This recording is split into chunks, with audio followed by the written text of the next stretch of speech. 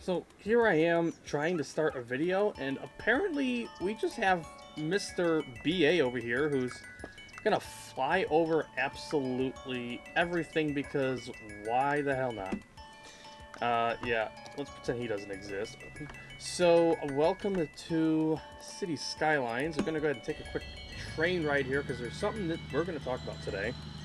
I've been thinking about making this video for a while, and I thought, why the hell not? Let's see how it goes.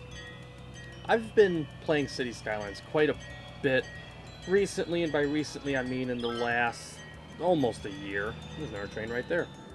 And, ooh, I, I forgot how steep the very top of that hill was there because of the junction.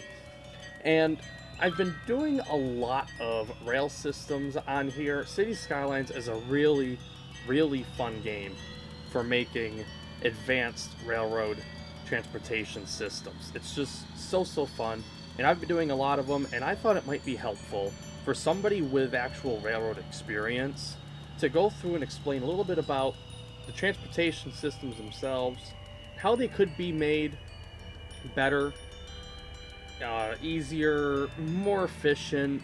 Also, by absolutely no means whatsoever is this going to be a professional looking video, so let me go ahead and apologize for that one ahead of time. I don't have professional recording equipment. I don't have all the fancy stuff to do that, so I've got to apologize for that in advance. We'll make this as good as we can. So, a couple things that I'll talk about while we take our quick train ride across the trestle here, coming off of the town of Dillon's Peak, which is what we've just departed, is there's different types of rail transportation in cities towns. We're going to be focusing on rails. We won't be touching anything about blimps or planes or buses or ferries, specifically rails and not a whole lot about trams, but we will mention them a little bit because I do have some on the city here.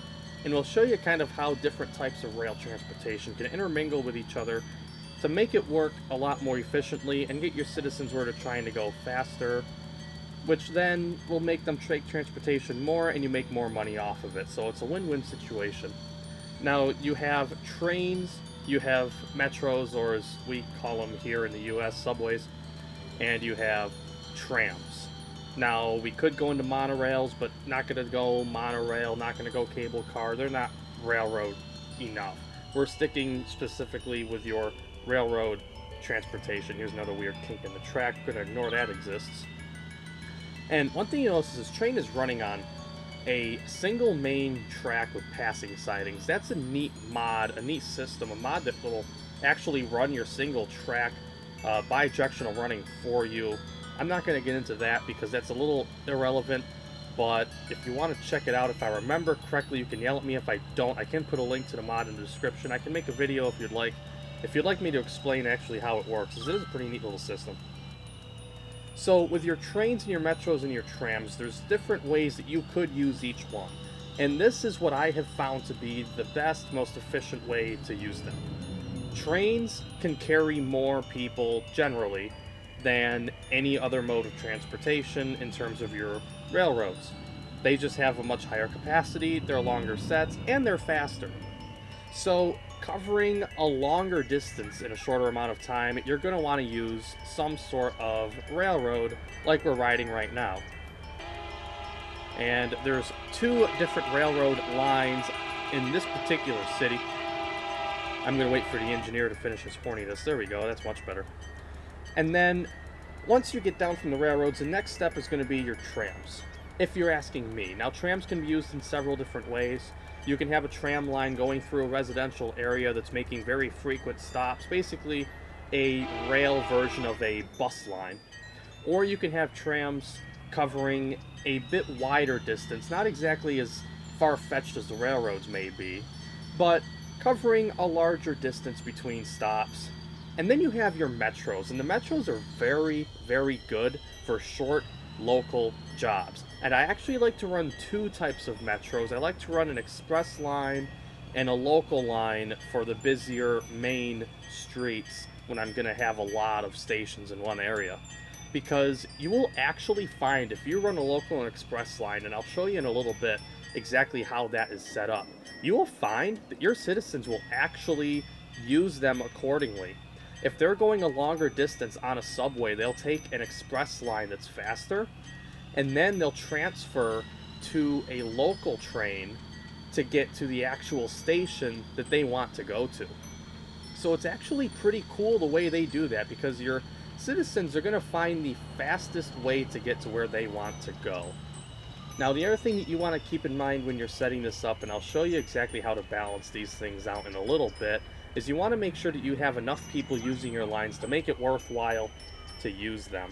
So we're going to go ahead and jump off the train here because right next to the tracks where this train is currently passing, I actually have something that kind of lays this out a little bit just for a little visual aspect.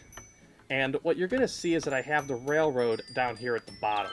And I'm going to get rid of that just so we don't have all these pop-ups going on to distract us. And what I'm basically laying out here is that your railroads are going to travel the longest distance between stops. They're faster, they can carry more people, and they're great for if you have like a town to town or borough to borough, district to district, whatever you want to call it. They're perfect for like an intercity travel, but within the city as well. And then you have two different types of metros. Now I've lined this out with the green and gray bridges just for the demonstration. The green would be your express and the gray would be your local. Your local metro making every single station stop along whatever line it's on. And then your express being its own tunnel but running parallel the entire way and stopping at half the stops or the more busy stops, maybe transfer stations, things like that. And you'll see that on this city very shortly. And then in the back, just in case you do have the Snowfall DLC and you are using trams, again, trams, there's a lot of different ways to use them. Personally, on this city in particular, I've used them for longer distance travel, but not quite as long as the trains. So if you want to go somewhere faster than an express subway, but you're not quite going far enough to make it worthwhile taking a train out of station, then you're probably going to jump on a tram, and you'll probably find that it's about the same speed, maybe faster, than the express subway. The only problem with trams is they're above ground. They do mingle with traffic on roads, so it's not good to have them on main streets, which I'm about to completely contradict that when I back up, because I have trams going down pretty much all the main streets on this city. But it's well balanced, and it's not really messing with the traffic. So one thing that I do want to take a quick look at is I made a nice map using something online. And uh, yes, there's a, a, free map maker, uh, maker online. I didn't do anything fancy. I just threw this together in about five minutes just to demonstrate kind of how the system works. And I'll show you the system in the game itself shortly. One thing to point out real quick is Odessa City Station and Odessa City Station are the same station. That is a transfer between the subway line and the station within the same building. So those are together. Other than that, none of these other stations actually do transfer with each other between the subway and the trains. If you're going from, say, the Trump Tower station, which would be closer to the Dillon Beach Railroad station, then you're actually going to take a tram between the two stations, and it, will be a very quick ride. It's not that long of a ride. But there's a very convenient tram that takes you that way. On the bottom corner here, I did line out what the lines are there are three metro lines shown, two train lines shown, and I did not show the tram lines because there are so many that it would be absolutely ridiculous for me to try to list all their station stops. So I felt like that wasn't as important. We're going to focus on railroads and subways mostly in this little discussion we're having here. Now, I should also point out Dillon Central Terminal over here on the top left-hand side. This is the terminal that the intercity trains from outside our map will arrive and drop everybody off, and then they can take the Dillon's Peak local out wherever they may need to go, and then they can transfer there. There's also a tram line from Dillon Central that I'll show you in a moment that will take you to Station Avenue. Dillon Central is on Station Avenue, and you can get onto the metro system there and travel pretty much anywhere very conveniently. Um, in the video at the very beginning here, the clip we rode from Dillon's Peak down to Odessa City Station. We made a station stop there, and we were actually on a Carina shuttle, so we came down this way, and right about here is where I jumped off the train, but it would have kept going to the small town of Carina, which is kind of like a suburban area. It's a small town out in the middle of nowhere that is accessible by road or by the railroad. And then this is kind of self-explanatory. That's the international airport. Very busy station, kind of out in the middle of nowhere, um, but there is a little bit around there. So we'll jump back into the city here, and we're going to take a look at exactly how these express and local stations are laid out, because this is a very neat system if you do it right, modeled actually after what systems like the MTA New York City do. And for this, uh, I am going to ask you to ignore all of the symbols and such coming around the city. I have absolutely no intention in focusing on those whatsoever. I've spent the last hour getting ready for the video and have completely neglected my city. So my citizens are probably really pissed at me. As you can see, a lot of them are dead. So that's fantastic. Besides that, the ridership on the railroad and transit systems are absolutely fantastic. So first thing I should point out is our main train terminal is here and most passengers, tourists coming into the city will jump onto our trolley line and will ride around the beautiful scenery at the lake here past our campus area and then they will end up here where they can jump onto the subway system. You can see there's a ton of people here taking the trolleys out to Dillon Central Terminal. Now, one thing to mention right off the bat is I have some subway stations off the workshop. Once again, if I remember, I'll put them in the description. If not, yell at me in the comments and I will do so. And these are just stations that you can use to transfer between lines without actually having to leave the station and cross the street because the default subway station is only one platform and the area it takes up above ground for the entryway is a 2 by 2 However, this one is actually more compact. Above ground, it only takes up one square one by one. It's just a small elevator entrance. And there's a couple different kinds, too. You can have three lines parallel. You can kind of see the symbols on the bottom here. You can have two lines crossing one. You can have two lines crossing two lines. And you can have two lines side by side. These two I have used most prevalently. I have used this one you'll see in a moment to connect the third line. But these are very convenient because you can kind of see people walking through underground here is they are it, it's kind of hard to see but if you can see them they are uh, crossing between lines without actually having to go above ground. So it's great. They're not intermingling with your road traffic, and they can transfer between trains very easily. They don't in this station lot because it's a station at the end of the line of terminal. But let's take a look at the actual lines themselves, because this is the interesting part. Now, the green tunnel that you're seeing is the express, and the yellow that you're seeing is the local, which we just saw on the map. Now, here we have the first local stop, and the express train, I know it's kind of hard to see because we have a couple buses and trams on this road above ground, but the express does not stop here. It's one platform and only the local trains stop here. The express will bypass. Same with the next station. This next station is bypassed by the express trains. And then our next stop will be a combined transfer stop. So if people were to get on way back to the left there, an express train, they may come out here get off, grab a local, and go out one more stop. In this particular case, they wouldn't because the next stop is actually an express stop as well because it is a busier stop and it was worth having the express trains stop here as well. So this is an express and local stop with our bigger station where we have the express, the local, and if we look back at the map, you'll see this Odessa Ave local. This is the North Odessa Avenue station right here and that's where these three lines converge. So you can see that line coming up above, and they're actually on a different level. The Odessa Ave local is a upper level, and then the Cheyenne Avenue lines actually dip below this platform. So it's cool, they don't actually crash into each other. You can see people here coming off trains, transferring like wild. This is a very, very busy station. Keep moving along the line. There's a couple more stops that only local trains will make the express will bypass and then two more stops at the end of the line, which both of these stops are express and local stops. Reason being, very popular stops, transfer opportunities to these lines up above ground on the roads, which are the tram lines, and having transfers to your other transportation is a very important thing to have. If we take a look through, we'll be able to see how many people are using the system. Now, Odessa Ave Local is almost up to 1,200 people a week. Now, there is one thing to mention about these numbers. You're going to notice that your train lines, or any lines that travel a greater distance between stops, are not going to show a lot of passengers. Now, don't let that discourage you and make you think that people don't use that line because they do. What you actually want to look at, how full are your trains? There's a train here that is jam-packed with people. And actually, Dillon's Peak Local should probably get another train or two because I'm looking here and uh, let's see, this station here, which is... Oh, yes, this is the airport. The uh, airport stop is...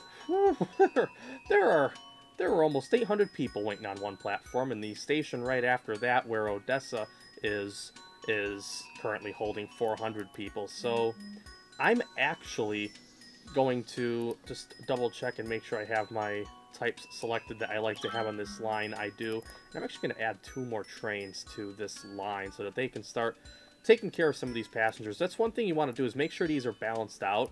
You want to keep an eye on how many people are waiting at each station to get on your train.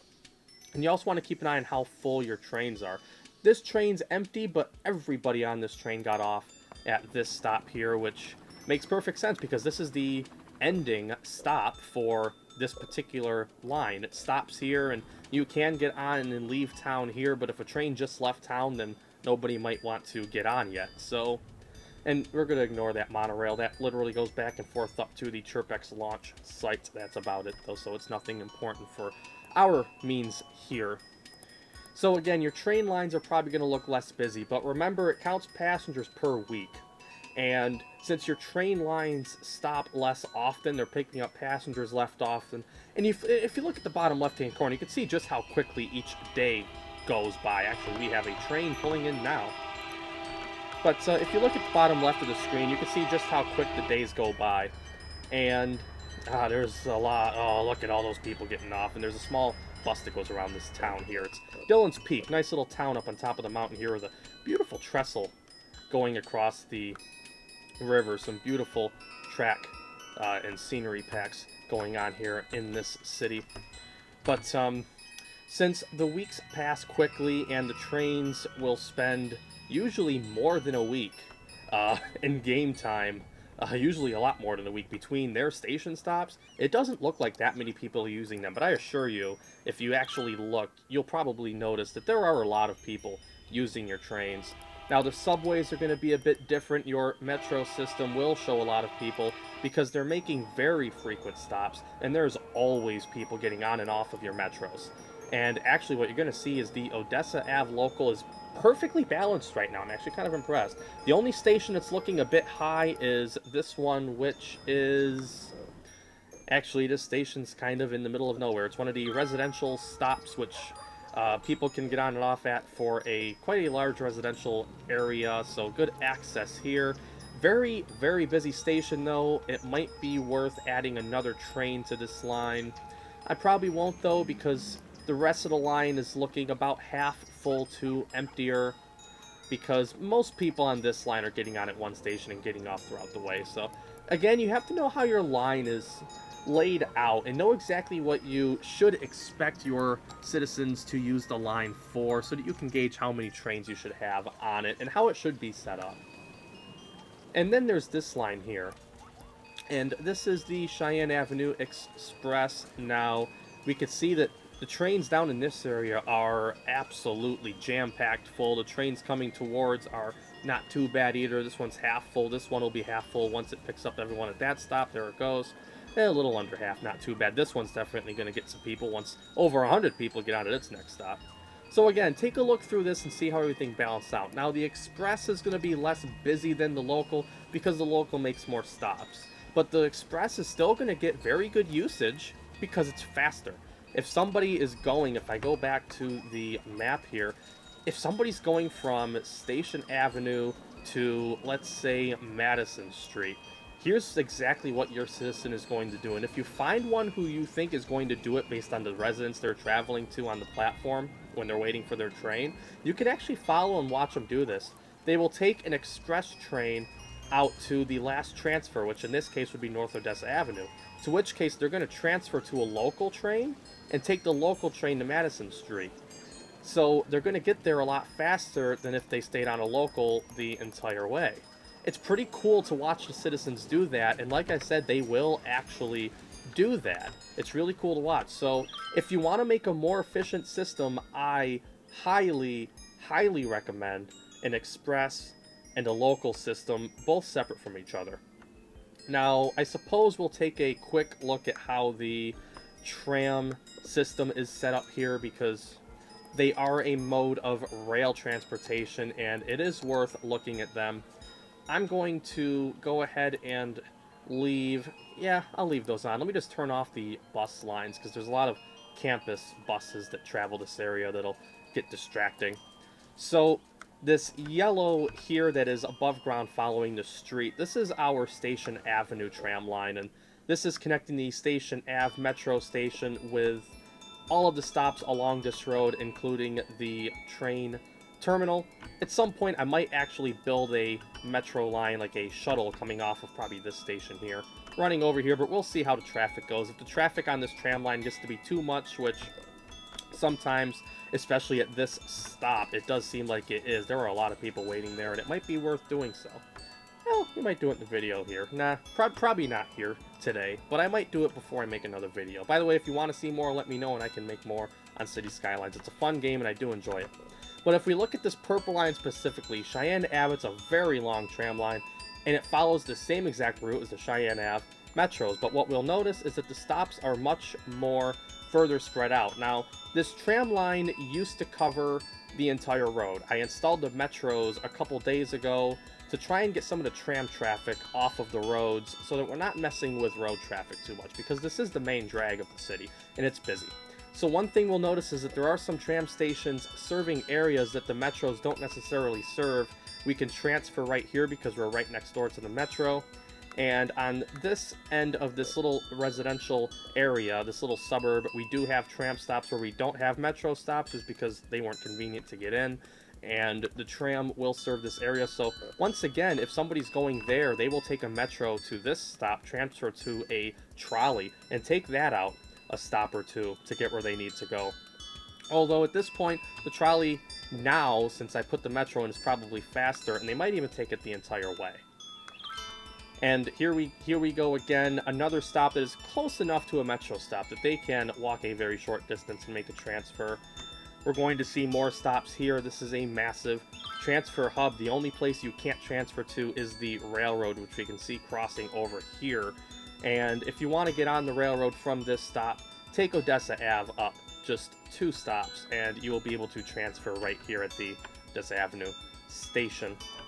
Keep going along, you'll see that the tram line will make a couple more stops, once again following that same road not a lot of intersections on the main road either. Always a smart thing regardless of what you're doing to keep intersections off the main road as much as possible. And what we'll see is more tram lines coming in here. Now, this is Dillon Beach. This area does not have any metros in it as of now, and I honestly don't plan on putting any in. Road traffic isn't too bad, and we take a look, you see the road traffic flows nicely. I have four car sets of uh, trolleys that are running, and we can hold 260 people on one. So they are fantastic for getting a lot of people around without running 50,000 trams on one line. And this area, being a smaller area, I kind of like having this area be a tram area. A nice ambulance crashing into a truck there. I love the AI in this game. It's nice to have a little area where all your transportation is above ground because you don't get to see that a lot if you use metros, and I use metros for the convenience and the efficiency of not having to deal with your above ground traffic. But I have also used above ground metros before. There are you can get the Metro Overhaul mod, which allows you to do it, or there are train stations that you can get as well, and you can designate a separate train line above ground that you can use for your uh, above ground metro sort of thing. And there are trains that look like subways as well that you can actually use. It's pretty cool. I won't actually place this station, but you can kind of get the idea. It looks like an uh, elevated subway station like you would find in New York City. It's actually based off of one in Brooklyn. And there's some nice models of those online. So above ground subways are kind of a cool thing too, doing a local and express line with those. If I end up with some more space on here in another city area, I might do that maybe down here if I expand this area, the Odessa, the South Odessa area out here, maybe I'll do that above ground because right now this is just a tram line. It'd be kind of cool to do that. If you'd like to see a video of that, let me know. I can do that in a separate video. I'll make a whole video dedicated to an above ground subway. That would be pretty cool. So let me know what you think. I'm going to cut it here. If you have any questions about your train lines, let me know. But the big things to remember, uh, I'll I'll do my outro in, in a second. I want to find a train to ride. Here we go. Here's here's something we can ride. We're going to ride another Odessa shuttle, except in the opposite direction. Coming from, actually, no, it's technically the Carina shuttle. I changed the name uh, right before I started the video, but I haven't actually changed the line in game yet. But that's beside the point. So once again, the biggest things to remember is you want to utilize all types of rail transportation that you can and have very convenient transfer stops that they can that your citizens can choose exactly which line and mode of transportation they want to use. Trains, again, can carry a lot of people with a smaller train set versus having to run a lot of trams to carry the same amount of people. And they're fast, and you can run them between different districts, different boroughs, however you lay out your city. They can go further distances with more people in short amount of times. And then when you're getting downtown, use underground metros. They're perfect for avoiding the road traffic. And if you set up an express and a local line on your busiest line or even your busiest lines, I have some massive cities with 200,000 plus citizens, which half the subway lines do have local and express services just because they're that busy. And trust me, your citizens will use them. They will use them religiously and it'll be so efficient that you'll actually start making a lot of money on your public transit because they'll be getting where they want to go quickly, they'll be happy, and because of that, they'll be using them a lot more than driving. All of this will help your road traffic as well. But thanks for watching, and once again, I do apologize that the video is not professional at all. I don't have all the fancy professional stuff that a lot of these million subscriber YouTubers have.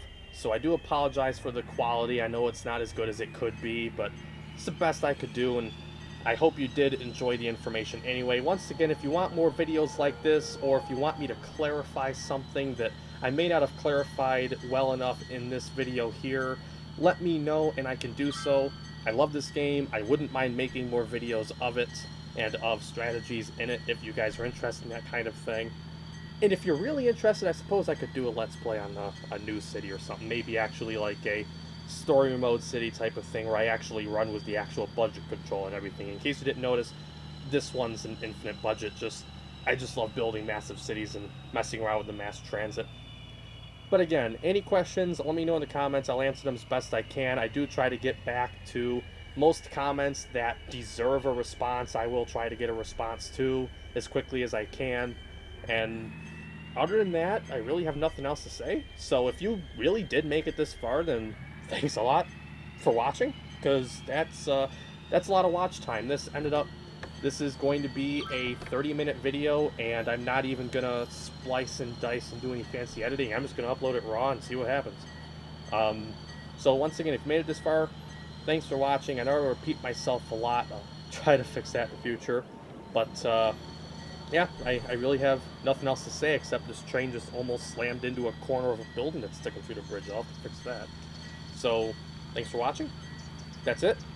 And like I said, feel free to leave a comment. Feel free to like. If you have a friend who might like this video or like some of the ideas in the video, then please, by all means, feel free to share it. It'd mean a lot. So, that's it. Have a nice morning, afternoon, evening, whenever you're watching. And hopefully, we'll see you soon on the channel.